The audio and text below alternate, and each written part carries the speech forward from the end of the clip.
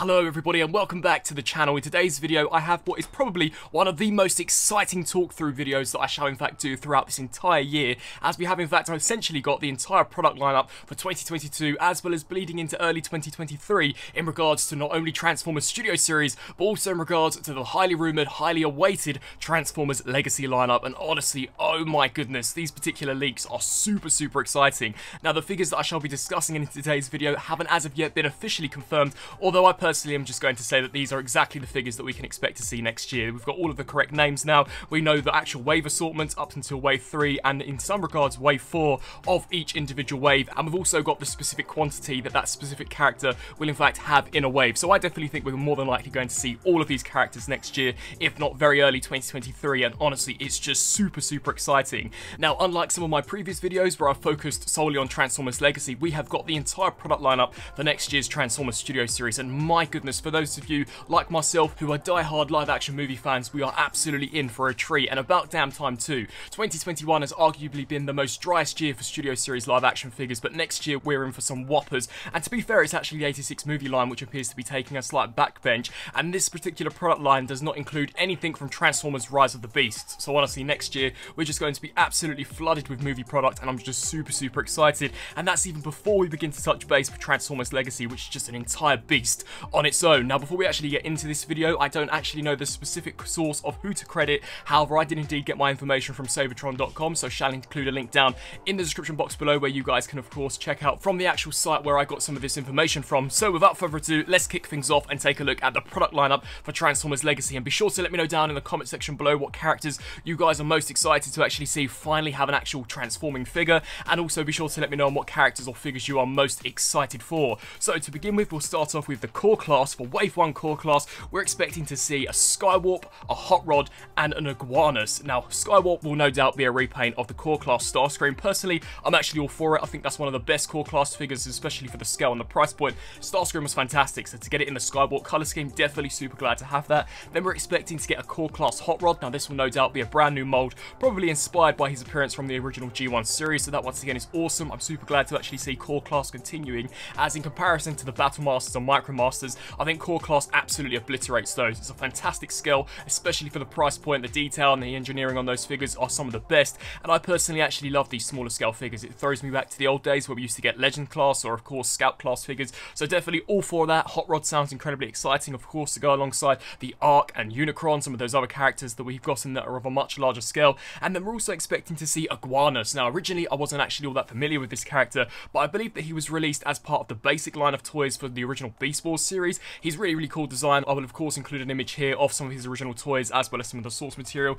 So it is nice to see some of these more obscure characters actually making it in to the Transformers mainline. Then of course we skip to wave 2. We're once again going to be seeing an Iguanus repack. Then we're expected to see Optimus Prime PR. Now I personally am not all that familiar as to what this particular character could be. Straight away Optimus Prime Prime comes to mind. So maybe this could be a core class Transformers Prime Optimus Prime. I guess we'll really just have to wait and see. But then we're expecting to see a core class G2 Megatron, which is really exciting. Finally, we're getting some repaints into the core class line, of course, which was alluded to with Skywarp in Wave 1. So G2 Megatron will no doubt be a repaint of the G1 Megatron that we got in the second wave of core class for Kingdom. And then we're expecting to see a core class Shockwave, which is definitely super exciting. A Shockwave is one of my favourite Decepticon character designs, and to actually get him in the core class, honestly, is just super, super exciting. So really excited to actually see these particular characters. And then as we turn our attention to Wave 3, much like Optimus Prime, we're expected to see a Soundwave PR. Now, once again, straight to mind, Soundwave Transformers Prime comes to mind. Once again, I could be completely mistaken, but if that is the case, super exciting. We're then also expecting to see an Energon monster, which leads to a lot of speculation as to what this character actually is. I guess we'll just have to wait and see whether or not it will in fact actually be called Energon monster. Once again, is something we'll have to see, but definitely really intrigued to see as to what that could be. And then finally for Wave 3, we are indeed expecting to see a Skull Grin. So overall, really, really nice looking figures by the sounds of it. And of course, we're getting some brand new molds as well as repaints. And the repaints we're getting, whilst I know many of you won't be all that thrilled with, I actually think they're really interesting repaints, especially where that G2 Megatron and Skywarp are concerned. Then we turn to Transformers Legacy Deluxe class. Now, honestly, this line for me is looking to be one of the best main lines ever, even being a rival for the awesome War for Cybertron trilogy. So straight off the bat, Deluxe class Wave 1, we're expecting to see Autobot G1 Skids. This guy we all knew was on the horizon, especially with a Masterpiece figure coming out towards the end of this year. Nine times out of ten, when Hasbro make a Masterpiece piece figure and the mainline figure hasn't already come out, it usually comes out a couple of months after, so super glad to actually see Autobot Skid. I'm actually wondering whether or not this will be a slight retool of the Jurassic Park JP93 figure that I recently reviewed over on the channel, as I actually think that would be a great basis for that. Of course, they would have to tweak it to work out some of those imperfections, but definitely really excited to see that guy. We're also expecting to see a deluxe class drag strip. Now, of course, this heavily indicates the rumour that we shall in fact be seeing the Stunticons and Motormaster in the Commander class, and that they are indeed going to be bringing back this almost Combiner Wars gimmick, where you can actually take some of these Stunticons, combine them with Commander class Motormaster, in order to, of course, create the Combiner Menasor. Super exciting stuff. Drag strip, really, really looking forward to this guy. And of course, I'm a Transformers Prime fan as well, so Transformers Prime Deluxe Class Arcee, really cannot wait to see how that figure turned out. The RED figure that we got earlier this year, I thought was fantastic. Whilst it couldn't transform, I thought the robot mode was by far the closest we had ever gotten to CG accuracy, and I'm once again super excited to see not only some Transformers Prime figures back on the shelves, but also brand new molds with updated and modern technology, with ankle rocker pivots, waist articulation, wrist articulation, and of course, high level of engineering. Of course, now Hasbro and Takara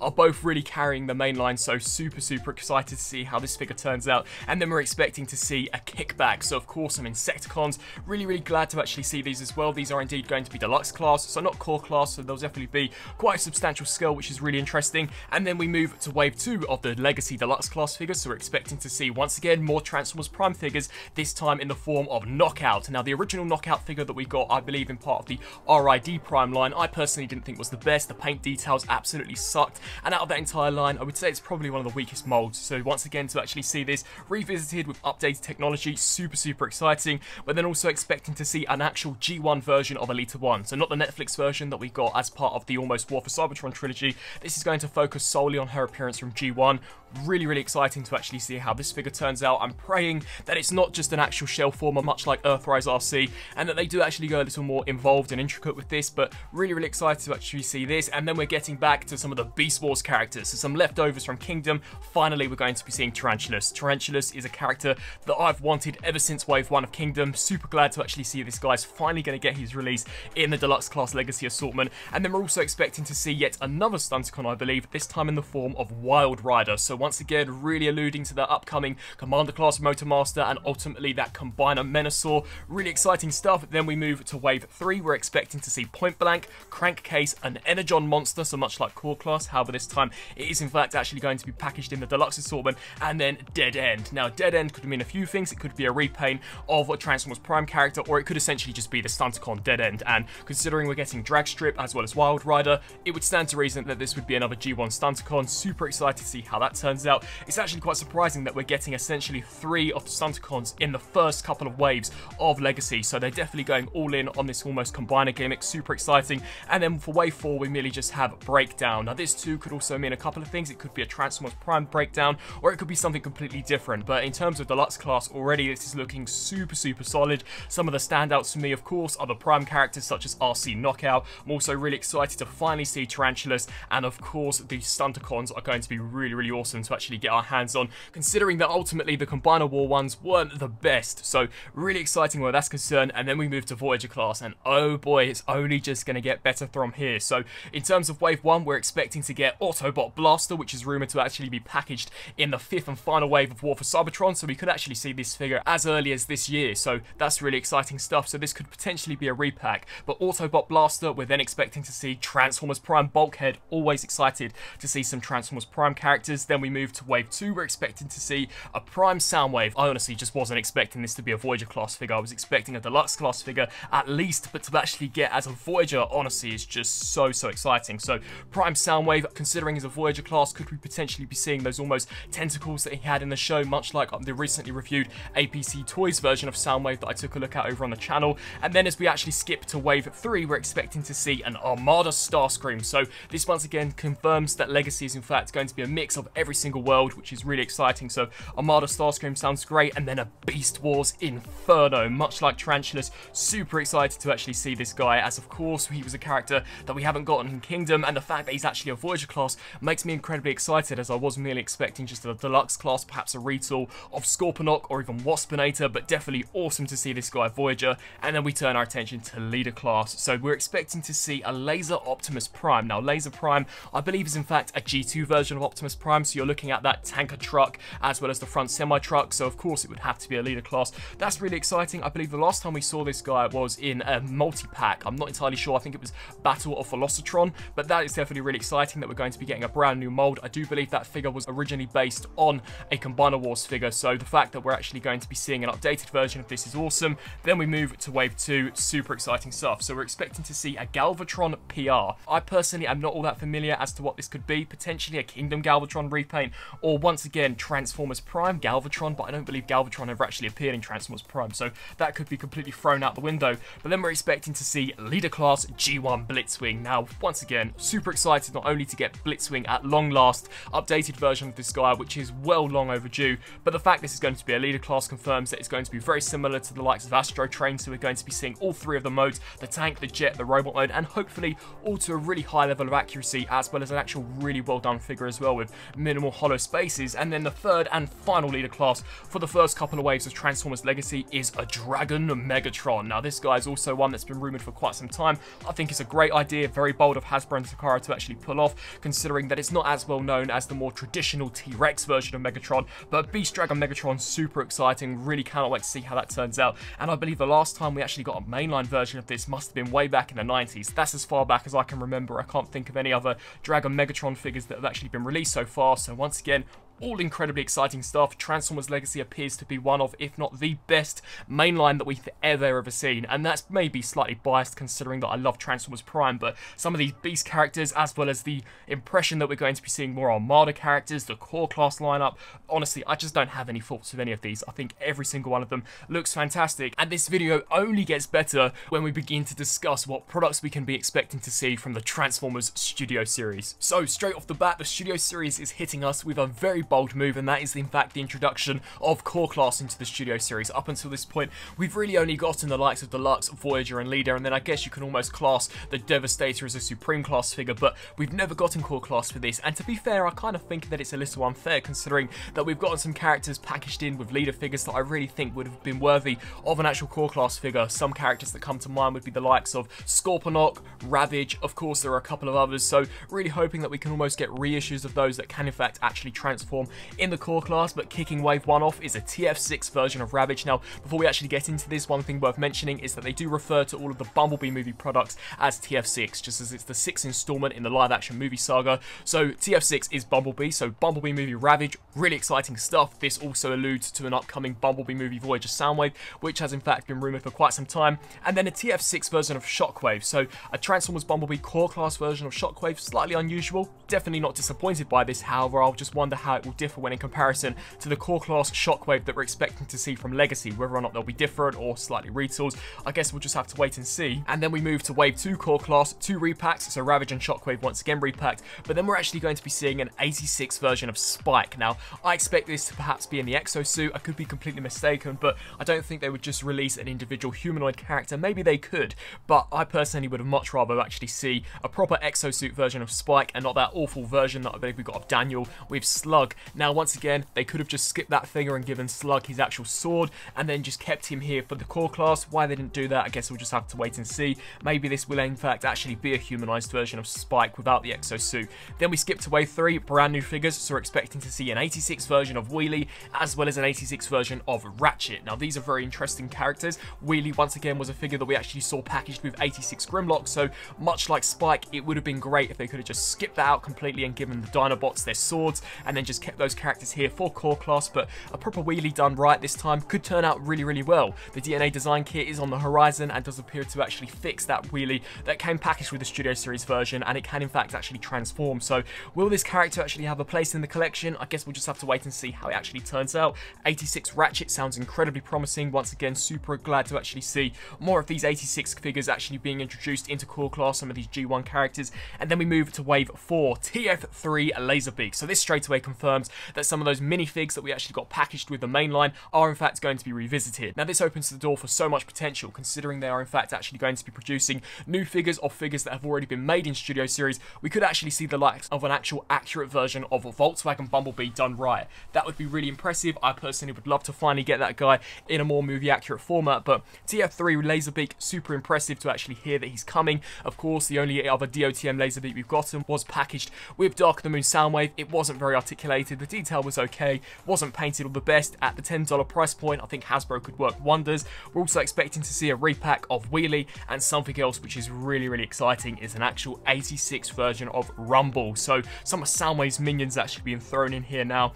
Really, really intrigued to actually see how this turns out. Whether or not it will come with the pile drivers, I guess we'll just have to wait and see. I expect it to, considering that this is a core class, but core class for Studio Series, definitely a lot of repacks, but the new molds that we are going to be seeing all sound really interesting, and I'll actually love to see how some of these characters that they're revisiting, such as Laserbeak, actually compare to their original versions. Then we turn to the deluxe class for the Studio Series, and this honestly is just so, so exciting. So much like I alluded to at the beginning of this video, for those of you who are a fan of the live action movies, you're going to have an absolute blast with these next couple of installments. Now, one thing to mention is that they haven't gone all live action movie, they are still keeping it incredibly influenced by G1, and you'll see that considering that most of these are in fact inspired by the Bumblebee movie, and of course, all of those designs were very G1, just with a live action aesthetic. But kicking things off for Wave 1, we're expecting to see a TF6 version of Ratchet. So a Bumblebee movie Ratchet, really, really excited to see how that turns out. Ratchet had one of the coolest designs in that very short actual sequence at the beginning of Bumblebee. We're also expecting to see TF6 Wheeljack, super exciting once again.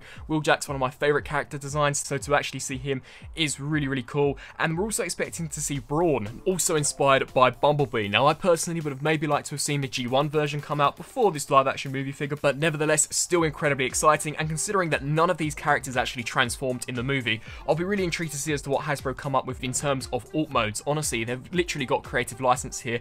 I'm expecting them to follow a very similar route to the likes of the DOTM leader Shockwave, where they focus solely on the robot mode, really nailing the accuracy, and then the vehicle mode is almost an afterthought. And considering they're Cybertronian, they really could come up with anything as wacky as they possibly like in order to just sort of compensate. So really excited. These are in fact going to be packaged with the upcoming, already revealed 86 movie Perceptor. So once again, we can expect to see these as early as the end of this year, very early next year. Then we skip to wave two of the deluxe assortment, and we are expecting to see a repack of both Wheeljack and Ratchet, but then also a Bumblebee movie version of Arcee. Really exciting. I thought that design was fantastic. She was definitely one of the characters that stood out among the rest, in my opinion. I think the designers of Bumblebee captured her appearance perfectly, and much like those other characters, just super excited to see how she turns out, especially for vehicle mode. And the same goes for the next figure in this line, a TF6 Bumblebee movie version of Ironhide, one of my favourite Autobot characters, once again done in a deluxe assortment. A little different when in comparison to the Voyager class figure that we got for the live action movies, so it'll be intriguing to see how the actual scale works out, but that sounds really promising. Then we skip to wave 3. Now this is where the Michael Bay characters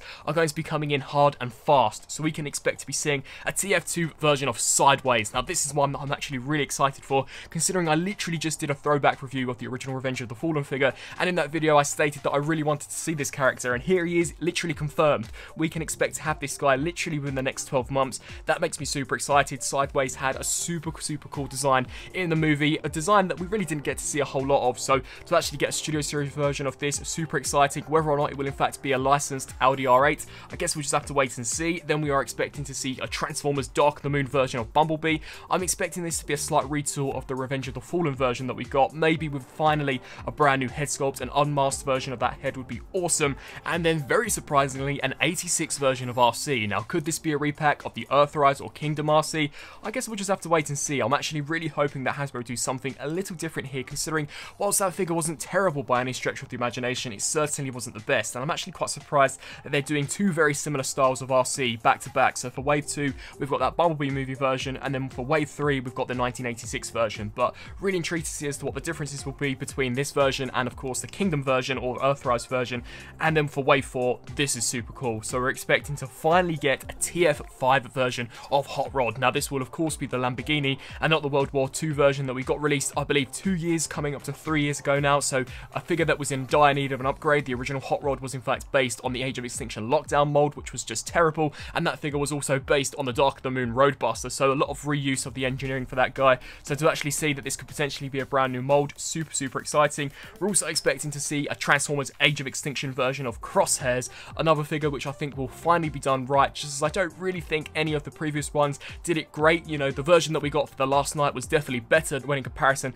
to Age of Extinction, but still wasn't 100% perfect. And then we're also expecting to see a repack version of that 1986 Arcee as part of the fourth and final wave of these deluxe figures. Then we move on to Voyager class. Once again, it's only going to get better. So in terms of Voyager class, straight away we can expect to see Bumblebee movie Soundwave. Now, of course, this was heavily hinted when we actually discussed the TF6 version of Core Ravage. The fact that we're actually going to be getting Core Ravage means that the detail on that guy is going to be great, and he will in fact be, of course, compatible with the Wave 1 version of Soundwave. Great to actually see that they are packaged in Wave 1, so you don't have to wait forever to get either of these characters. You can essentially pick them up at hopefully the same time in order to pair them up. That's really exciting. Soundwave from Bumblebee has one of the best designs out of the entire live-action movie saga, so really excited to see how he turns out. And then we're also expecting to see an 86 Hot Rod variant. Now, notice the word variant. I think that this is going to be slightly more inspired by some of the other cell animations, so maybe this could be a slightly more pink-inspired version of Hot Rod. I do believe this was in fact actually hinted at in a live stream a couple of months ago, so that'll be cool to see. It's nice to see that we're in fact going to be getting a few different variants of characters,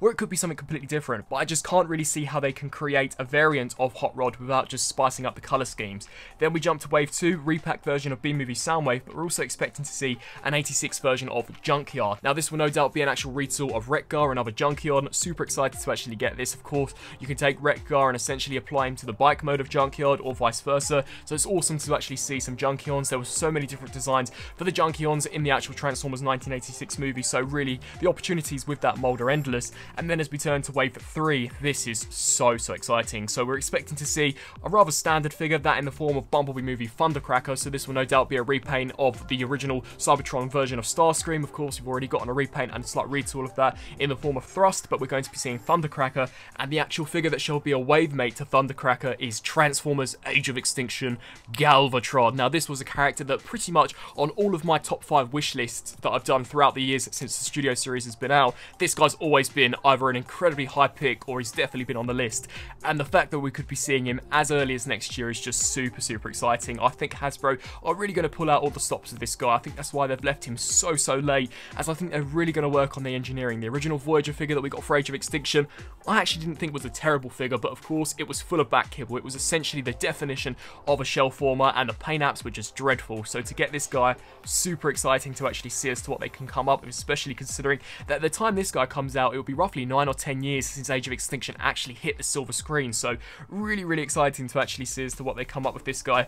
Then we turn our attention to the leader class. We already know about the first figure, and that is the 86 King version of Starscream. So that guy is a part of Wave 1. For Wave 2, the Dinobots are in fact continuing, not live action movie Dinobots sadly, but the 1986 versions, as we're going to be seeing Sludge. Now this pretty much confirms Hasbro going to essentially give us all of the Dinobots updated. That's super exciting. I actually love that for the most part so far they've all been in the leader assortment. I have heard rumours that Swoop is indeed supposed to actually be in the Voyager, and I guess that kind of makes sense considering he's a pterodactyl, he's a little smaller, when in comparison to some of the other dinos that we've got in this, but 86 Sludge, definitely very exciting. Whether or not he'll include a minifigure is yet to be seen, and then we turn to Wave 3. Now this has got to be one of, if not the most highly anticipated live-action Michael Bay character ever, and once again, much like Sideways, he was a figure that I very recently actually revisited over on the channel. It is a TF Revenge of the Fallen version of The Fallen, finally done in the leader assortment. Now, all of the figures up until this point have merely been Voyagers, and I actually thought the Hunt for the Decepticons figure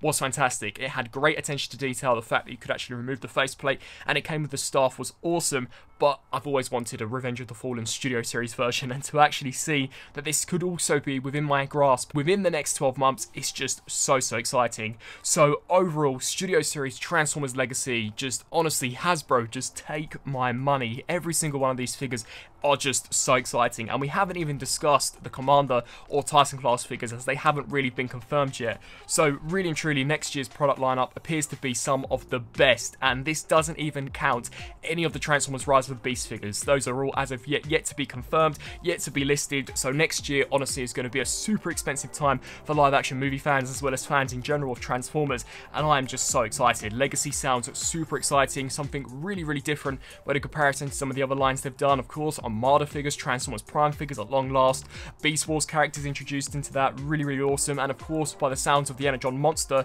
some new original concept ideas, and then Studio Series, once again, so exciting. Finally, Core Class in this, the Deluxes with the Bumblebee movie stuff sounds great, the Voyager Class, once again, Galvatron, as well as the TF6 Bumblebee movie version of Soundwave, and then Leader Class with Sludge and the Fallen, just so, so exciting. I would love to know down in the comment section below on what you guys think of some of these figures that I've discussed. All of these are scheduled to be released in the next 12 months, so honestly, I just am so excited. I just really want to see some product renders, considering that Wave 1 is in fact a part of the wave with this King Starscream and Perceptor figures that we've already had announced. Announcements for some of these Bumblebee movie characters such as Ratchet, Wheeljack, and Soundwave and Brawn are definitely sooner rather than later. I'm expecting to see these guys officially shown at the next FanFest or this big Hasbro Pulse event that they've got planned for next month. So we'd love to know down in the comment section below what you guys think of some of the product we can be expecting to see next year. Do you guys think that it is a marked improvement when in comparison to what we've seen this year? Personally, in regards to Studio Series, I think it could potentially be the best year we've seen for this line so far. Devastator,